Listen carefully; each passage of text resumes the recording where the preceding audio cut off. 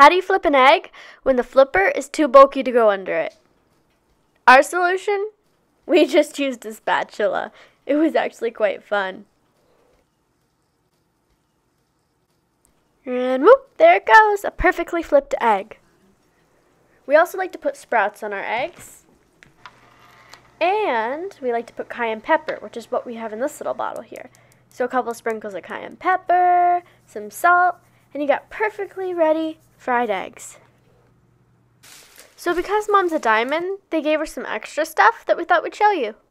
There's a blender bottle, a water infuser, and some other stuff, and a set of notebooks that another diamond gave us. And this is a sneak peek inside the Diamond Lounge. There's a lot of successful people here, and there's no better way to learn how to be a diamond than hang around diamonds. Oh, and here Mother is giving some of the diamond support staff a back massage with the mini fascia blaster. Alright, now we're off to the awards gala. Look at how many people are waiting to get in. There's at least got to be a couple hundred.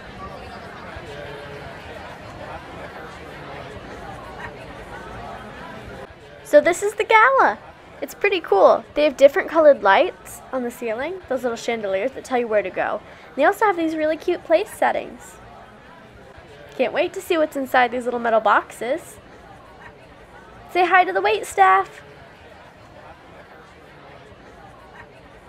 This food looks good. I think I know what Edward wants to eat.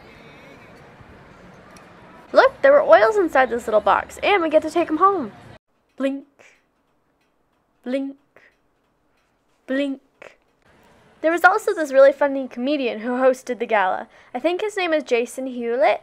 He sang songs in really funny voices, told some ridiculously hilarious stories, and listed off the names of the new diamonds who are walking.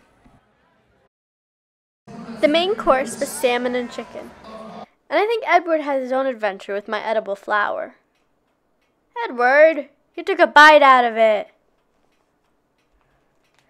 And my dessert, too. When did he do that?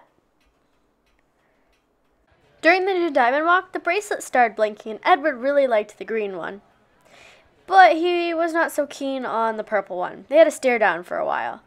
But when it went rainbow colored, he was all back to being best friends with the bracelet. I'll see you guys tomorrow. Bye.